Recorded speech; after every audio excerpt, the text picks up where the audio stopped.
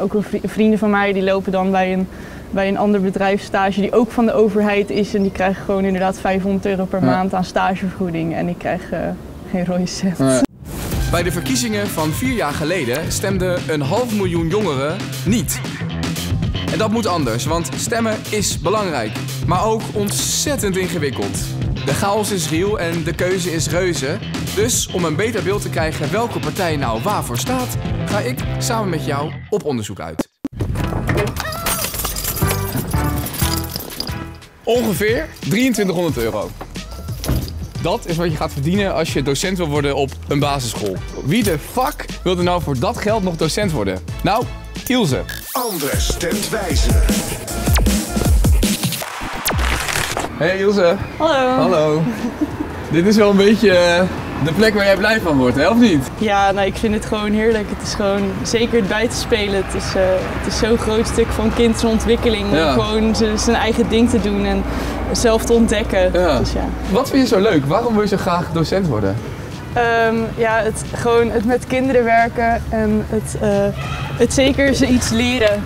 Ik, vroeger dacht ik altijd dat ik de gehandicaptenzorg in wilde. Ja. Sowieso met mensen, dat was echt mijn, mijn doel. Ja. En toen ging ik bij die opleiding kijken en toen merkte ik echt van ja, je bent echt iemand aan het, aan het verzorgen. En hier zo ben je meer mensen aan het leren en aan het helpen. En Ik dat, vind het heel interessant, want jou, ehm, je komt uit een ondernemersgezin. Je komt uit een gezin waarin de mensen altijd VVD hebben gestemd. ja. Ik denk toch wel dat mijn ouders me best wel hebben geleerd dat je voor andere mensen mag zorgen. En eh, dat het leuk is om anderen wat te leren. Dus eigenlijk eh, eh, zijn jullie het niet met elkaar eens op allemaal punten, maar supporten jullie elkaar wel? Of je judgt elkaar niet? Ehm, ja, in sommige discussies denk ik wel van, eh, van nou laat maar, want dit gaan jullie niet begrijpen. Of jullie, ja, jullie kunnen niet, op dit moment kunnen jullie niet op dezelfde manier denken als ik. Ja. Die denken ook dat ik een beetje op een stoeltje zit de hele dag en niet zoveel doe. Als je bijvoorbeeld bij ABN AMRO stage gaat lopen op de Intercorporate Finance afdeling, dan krijg je 900 euro stagevergoeding, kun je dat allemaal prima regelen later.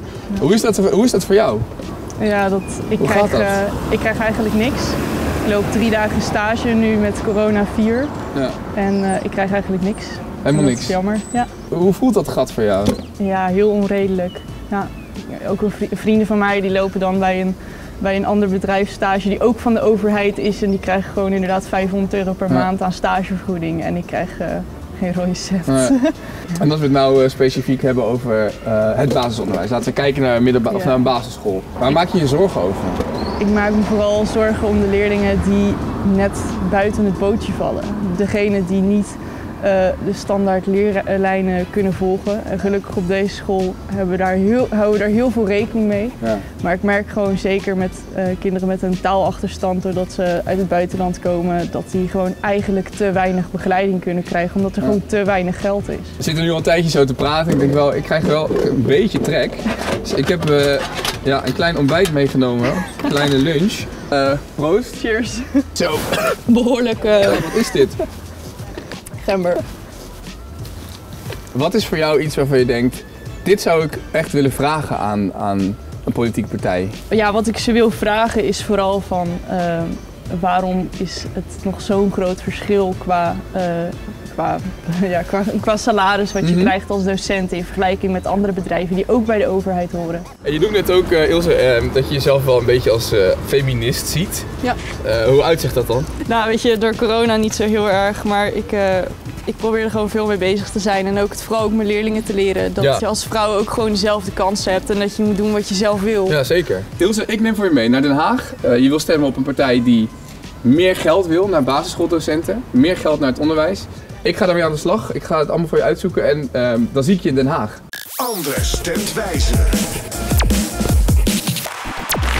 Oké, basisschooldocenten verdienen dus geen kut. Maar wat denk jij dat ze binnenharken? Ja, geen idee. Ik denk, eh, weinig, te weinig sowieso. euro. Per maand, zoiets? Oeh, ehm Volgens mij is het 22,5 netto. 20.000 per jaar. Per jaar. Dus het Is is dat, hoeveel is het per maand? Nou ja, je hebt ook wel heel veel werkdruk hoor. Vooral nu, denk ik, met corona. per- een basisschooldocent verdient, waar dus nog alles af moet, gemiddeld 2300 euro. Waar nog alles af moet. Ja. Fuck. Ja, ik vind ook gewoon dat ieder, elke docent gewoon hetzelfde moet krijgen. Wat vind jij dan dat een docent zou moeten verdienen? Nou, ik denk wel 2800 tegen de 3000 aan. Eh, tegen de 3000 is wel lekker, toch? Oké, hier komen we dus uit op een salaris van ongeveer 3000 euro. Dat dat veel beter zou zijn. Eh, Rutte, luister je mee? Andres stemt wijzer. Jojo, ja, weer in Den Haag. En ik ben inmiddels zo vaak geweest dat ik nu weet dat aan de linkerzijde het parlementsgebouw zit. En daar aan de rechterzijde het standbeeld van koning Willem II. Ik ben namelijk weer in Den Haag om te gaan praten met uh, Helene. Zij is uh, een politiek expert. Vandaag gaan we het hebben over het thema van Ilse, namelijk het onderwijs.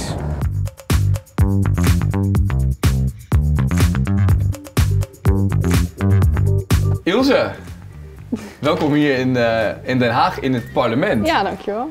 Interessant feitje nog. Ik heb zelf ook een beetje mijn best gedaan om te lezen. En, en Helene, jij moet daar maar meer uitleg over geven hoor. Um, maar er is volgens een vakbond een half miljard euro nodig om de kloof te dichten tussen het verschil wat een middelbare schooldocent verdient en een basisschooldocent. Geld wat het kabinet er niet voor uit heeft getrokken de afgelopen jaren. Nee, dat klopt. In 2018 is tegen het voorstel om het loon gelijk te trekken gestemd. Maar ik heb goed nieuws voor je.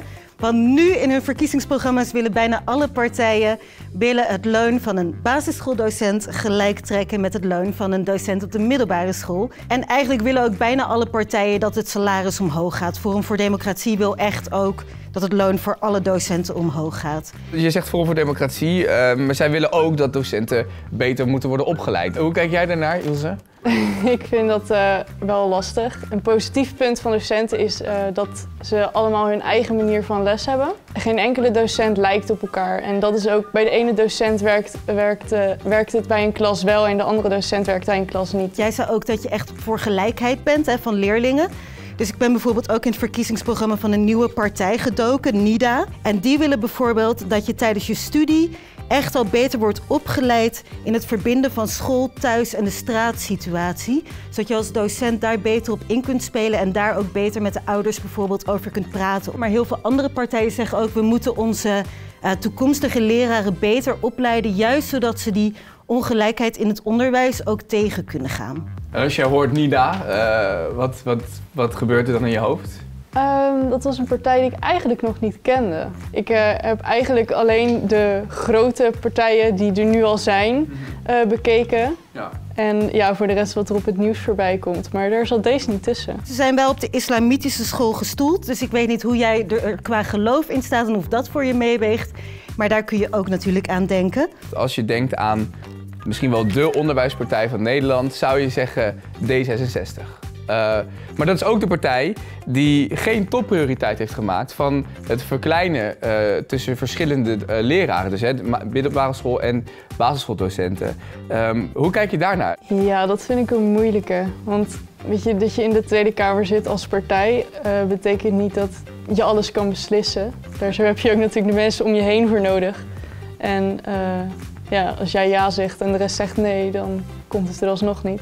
Ik moet wel zeggen dat toen ik in hun verkiezingsprogramma dook, dat ik wel zag dat zij een van de partijen zijn die hier wel echt speerpunten van maken. Want als je kijkt aan kansengelijkheid in het onderwijs, dan denk je ook bijvoorbeeld aan inclusief onderwijs. Hè? Dus dat zoveel mogelijk kinderen in het normale onderwijs mee kunnen doen. Dus ook kinderen met een beperking. Wat D66 ook zegt van wij vinden dat op elke school een zorgteam moet zijn... waarin tenminste een psycholoog zit um, en nog wat andere mensen die zo de kinderen beter kunnen begeleiden, kunnen helpen. Je ouders die stemmen VVD.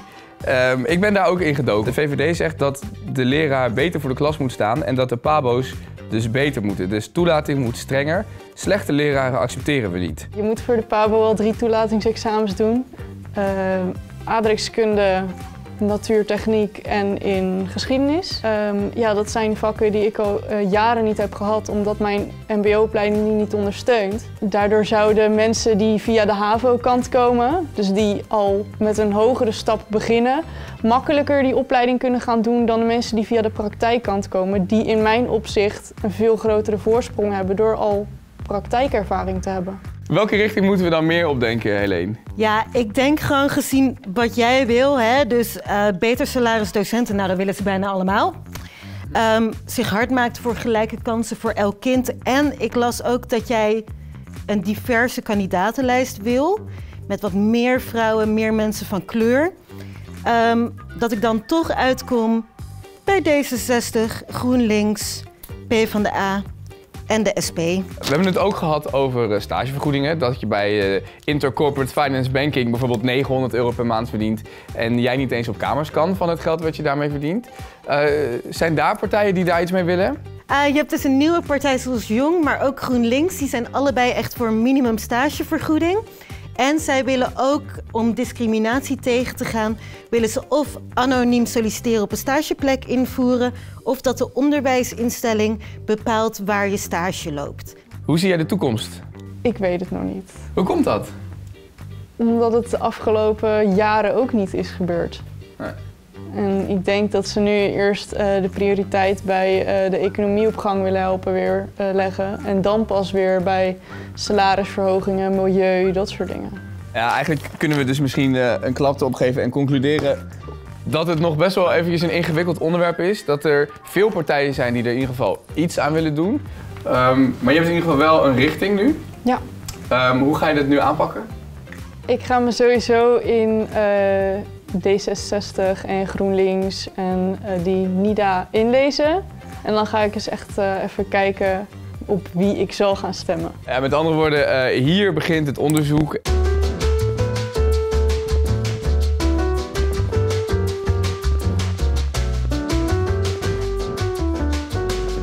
En het allerbelangrijkste is om goed voor jezelf uit te zoeken welke thema's bij jou passen. Want alleen dan stem je wijzer. Um, laten we dat nu eventjes helemaal los. Laten we nu gewoon, weet ik veel, naar K3 gaan luisteren of zo. Even het hoofd leeg, even chillen. En dan op 17 maart de juiste keus maken. Zijn nou K3? ja, ik zeg